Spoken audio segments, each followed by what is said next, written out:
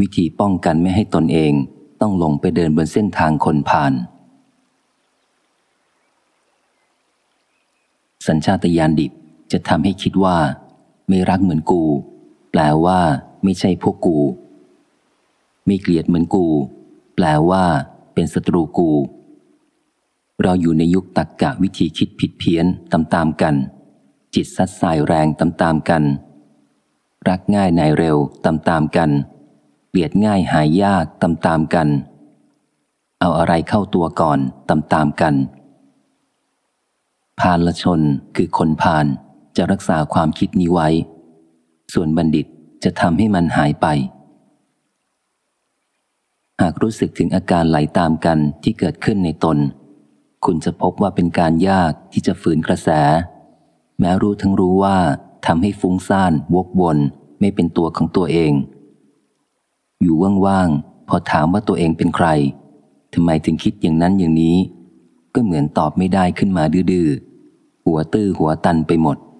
บางทีกลวงกลวงว่างๆเงินหุ่นยนต์คอยรับคำสั่งต่อไปอย่างไรไม่ทราบ การกลับไปหาความเป็นพุทธ คือวิธีหยุดไหลตามกัน และเป็นตัวของตัวเอง เป็นอิสระจากการครอบงำอาจเริ่มต้นจากการสวดมนต์อย่างถูกต้อง โดยสวดบูชาสิ่งศักดิ์สิทธิ์สรรเสริญพระพุทธพระธรรมพระสงฆ์อย่างรู้ว่า เมื่อสรรเสริญสิ่งศักดิ์สิทธิ์อยู่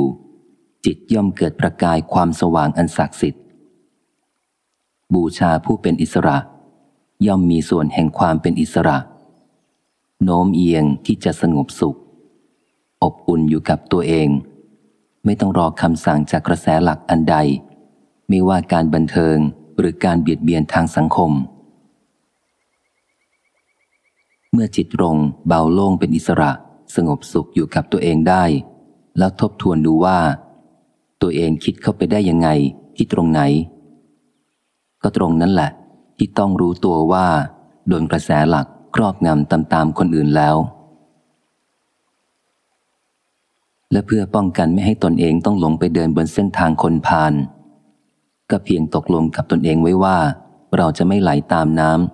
ำ เช่น พักพวกตัวเองผิด ต้องไม่แกล้งพูดว่าถูก พักพวกอีกฝ่ายถูก ต้องไม่แกล้งพูดว่าผิด พอถูกว่าตามถูก ผิดว่าตามผิด จิตก็ไม่บิดเบี้ยวแบบผ่านแล้ว